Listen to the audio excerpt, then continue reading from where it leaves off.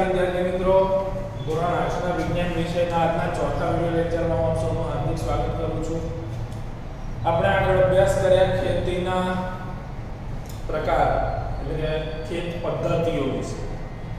ભારતમાં આબોહવાના આધારે કઈ રીતે ખેતી કરવામાં આવે છે બે ભાગમાં વહેંચવામાં આવે છે, ખરીફ પાક અને રવિ પાક. ત્યારબાદ વિવિધ ખેત પદ્ધતિઓનો પણ આપણે અભ્યાસ કર્યો. જેમાંથી પ્રથમ ખેત પદ્ધતિ હતી, કઈ હતી? ખૂબ સરસ ભૂમિને તૈયાર કરવી. ભૂમિને કઈ રીતે તૈયાર કરવી એના વિશે આપણે અભ્યાસ કર્યો હતો. શું કરવામાં આવે છે? એના માટે જમીનને ખેડવામાં આવે છે. હવે આ જમીનને ખેડવા માટે વિવિધ ખેત ઓજારોનો ઉપયોગ કરવામાં આવે છે. આ ઓજારો વિશે આપણે ચર્ચા કરી હતી.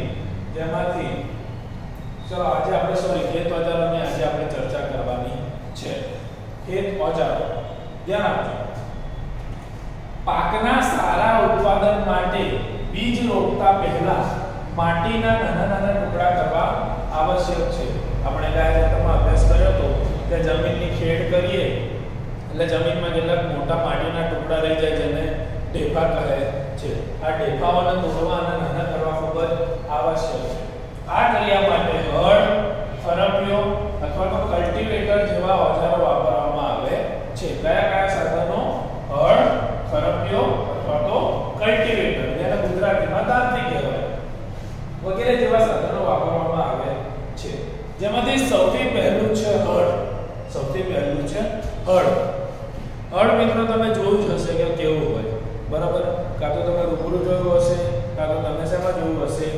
કોઈ સિરિયલમાં કે તમે મૂવી જોતા હોય પિક્ચરો જોતા હોય, એમાં તમે હળ જોયું હશે. હળ એટલે તો પ્રાચીન સમયથી હળનો ઉપયોગ જમીનની ખેડ, જમીનમાં ખાતર મેળવવા અને નિંદણના નિકાલ માટે થાય છે. નિંદણના નિકાલ માટે એટલે શું? જો અહીંયા લખ્યું છે કે જમીનની ખેડ કરવા ખેડ કરવા એટલે આપણે સમજી ગયા.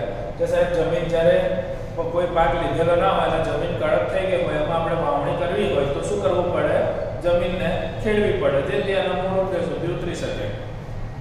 તો એ તો ખબર પડી ગઈ કે જમીન ખેડ કરવા. ખાતર મેળવવા. જ્યારે જમીનમાં આપણે ખાતર નાખીએ છીએ, પાક વાવતા પહેલા. યાદ રાખજો, પાક વાવતા પહેલા. પાકની રોપણી પહેલાની વાત છે ત્યારે આપણે શું કરવું પડે ખાતર નાખીએ પછી ખાતર તો જમીનની ઉપરની સપાટી પર જ પડી હોય છે. પણ એને જમીનની અંદર ભેળવવા માટે શું કરવામાં આવે છે? એના ઉપર પાછું હળ ફેરવવામાં આવે છે. આ ઉપરાંત નિંદણ નિંદણના નિકાલ માટે. તો નિંદણના નિકાલ માટે કઈ રીતે? તો જ્યારે આપણે જમીનમાં કોઈ પાક લીધેલો ના હોય, ખેતરમાં કોઈ પાક લીધો ન હોય, ચોમાસાની ઋતુ છે, ચોમાસાની ઋતુમાં એકાદ બે વરસાદ પછી જો આપણે વાવણી કરવાનો સમય આવે, ત્યારે એમાં નાના નાના છોડ ઉગી નીકળે છે અથવા તો ઘાસ ઉગી નીકળે છે. તમે જોયું હશે, તમારા ઘરની આજુબાજુ જો ખુલ્લી જમીન હોય અને વરસાદ આવે ને ત્યાં આગળ શું ઉગી નીકળતું હોય છે? નાનું નાનું ઘાસ ઉગી નીકળતું હોય છે. આ જ રીતે ખેતરમાં પણ આ પ્રક્રિયા જોવા મળે છે. એકાદ વરસાદ પછી જમીનમાં, ખેતરમાં આપણને થોડું થોડું ઘાસ અને નાના નાના છોડવા ઉગી નીકળેલા જોવા મળે છે, જે જેની ખેડૂતને કોઈ જરૂર હોતી નથી. અને જો ખેતરમાં આ પ્રકારના છોડવા કે નિંદણ રાખવામાં આવે ઘાસ તો એ પાકને નુકસાન કરે છે. માટે આ આ જે છોડવા છે કે આ જે ઘાસ છે, એનો નિકાલ કરવો જરૂરી છે. તો શું કરવામાં આવે છે? કે સમગ્ર ખેતરમાં હળ ફેરવવામાં આવે છે. અથવા તો કલ્ટીવેટર અથવા તો ફરક કંઈ પણ.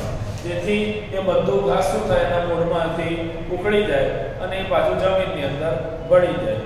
જમીનમાં ભળી જાય એટલે કોવાઈ જાય, પછી એમાંથી પોષક તત્વો બધા છૂટા પડે ને એનું ખાતર બની જાય, એ ક્રિયા આપણે સૌ જાણીએ એટલે આ ક્રિયાઓ માટે શેનો ઉપયોગ કરવામાં આવે છે? હળનો ઉપયોગ કરવામાં આવે છે. હળ જે છે, એ મુખ્યત્વે લાકડાનું બનેલું જોવા મળે છે. હળ મુખ્યત્વે શેનું જોવા મળે છે?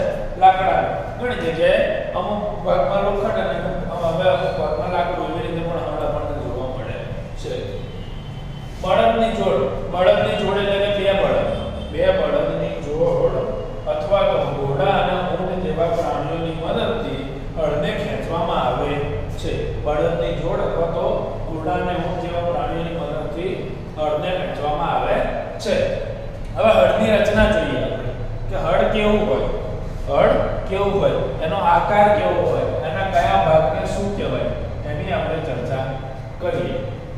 તો લોખંડની મજબૂત ત્રિકોણાકાર પટ્ટી હોય છે, જેને ફાલ કહે છે. હળની અંદર એક લોખંડની ત્રિકોણાકાર મજબૂત પટ્ટી હોય છે, જેને શું કહેવામાં આવે છે?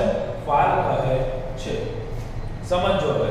અહીંયા આગળ જે લાલ રંગના માર્કરથી જે મેં ભાગ દર્શાવ્યો છે, એ ભાગ લોખંડનો હશે. એને શું કહેવામાં આવે છે? ફાલ કહેવામાં આવે છે. હળનો મુખ્ય લાંબો ભાગ લાકડાનો બનેલો હોય છે, જેને હળ શાફ્ટ કહે છે. હળનો જે મુખ્ય લાંબો ભાગ હોય છે, એ શેનો બનેલો હોય છે? લાકડાનો. જેને શું કહેવામાં આવે છે? હળ સાફ કહે છે. અને એક છેડા પર હેન્ડલ તથા એક લાંબી ધરી બીજા છેડા પર જોવા મળે છે, જેને જોત કહેવામાં આવે છે. જ્યોત જોત જોત કહેવામાં આવે છે. આ જ્યોત ઉપર બળદની ગરદન રાખવામાં આવે છે અને ત્યારબાદ બળદ દ્વારા આ બળ ખેંચવામાં આવે છે. આ આકૃતિ થઈ છે આપણે ચોપડીમાં આપી છે એ પ્રમાણે. હવે એક સિમ્પલ આકૃતિ દ્વારા જો આપણે હળની રચના સમજવી હોય, તો કઈ રીતે થાય? તો કઈ સાહેબ, એક આ લાંબો ભાગ. જેની ઉપર અહીંયા આગળ બે બળદ હશે ધ્યાનથી સમજો. આ લાંબો ભાગ જેના પર બળદની ગરદન રાખવામાં આવે છે તેને આપણે શું કહીશું? જોત કહીશું. તો આ જે ભાગ છે એને કહેવાશે જોત હવે એક આભાર એક લાંબો મુખ્ય લાંબો લાકડાનો ભાગ આભાર એક આપણે કહેવાય જેને શું કહેવાય વેરી ગુડ જેને આપણે કહીશું હળ સાફ હવે આ જે હોય એમ ત્રાસો હોય પણ દોરીશું શક્ય નથી બોર્ડ ઉપર. કારણ બોર્ડમાંથી બહાર આવતું દોરીશ તો તમને દેખાશે, નહીં દેખાય. માટે આપણે આ સીધી રીતે સમજીએ છીએ. અને ત્રીજો, એક ત્રિકોણાકાર લોખંડનો મજબૂત ભાગ, જે અહીંયા આગળ આ રીતે જોડાયેલો હોય. એને શું કહેવાય? ફાર શું કહેવાય? ફાર પડી ગઈ? બળની રચના કેવી હોય ખબર? પડી ગઈ મિત્રો? એક લાંબો લાકડાનો આધાર જેના ઉપર બળદની ગરદન ટેકવવામાં આવે એને શું કહેવાય જોત કહેવાય એ જોતની સાથે જે જોડેલો ભાગ હોય એ હોડસા અને એની નીચે જે મજબૂત ત્રિકોણાકાર લોખંડનો ભાગ કે જે જમીનની અંદર ઘૂસી અને માટીને ઉપર નીચે કરવાનો છે, એ ભાગને ફાળ પડી ગઈ ખબર, ફરી એકવાર ચર્ચા કરી લઈશું આજે શીખ્યા ખેતીના ઓજારો વિશે ચર્ચા કરી. તો જમીનમાં બીજ રોપતા પહેલા પાકના સારા ઉત્પાદન માટે માટીના નાના નાના ટુકડા કરવામાં આવે છે. આ માટે હળ, કલ્ટિવેટર એટલે કે દાંતી અને ખરપિયાનો ઉપયોગ કરવામાં આવે છે જેમાં સૌથી પહેલું છે હળ તો એના વિશે આપણે અભ્યાસ કરીએ જેને અંગ્રેજી અંગ્રેજીમાં બ્લોક કહેવાય છે.